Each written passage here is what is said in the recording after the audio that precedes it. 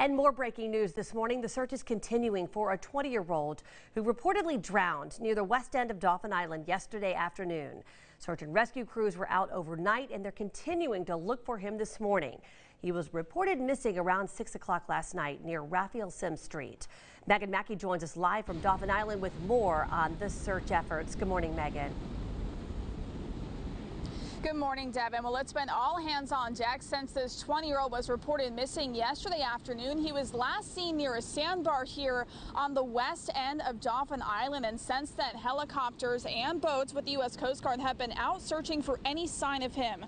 Now, the drowning reportedly happened about 15 hours ago at this point, but officials have not said this is a recovery. It is still an active search. The missing swimmer is described as a black man, last seen wearing gray and white swim trunks. Collier, the mayor of Dauphin Island, says he was visiting from out of state.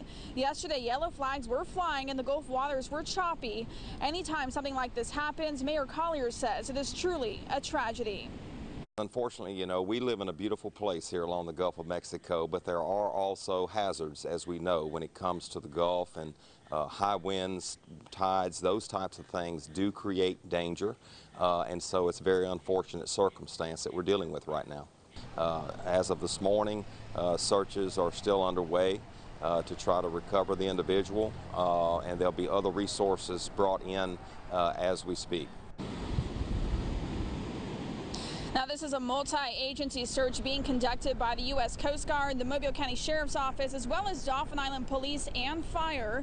As you heard Mayor Collier say, more resources are being brought in as we speak, both state police and search and rescue crews from Daphne. And we even just saw in the last hour ATVs with the Mobile County Sheriff's Office combing the shoreline because there is a concern that the body could wash ashore. Mayor Collier says if you see something, be sure to contact local authorities. But we will keep you updated on the search as the day continues. Reporting live on Dauphin Island, I'm Megan Mackey for WKRG News 5.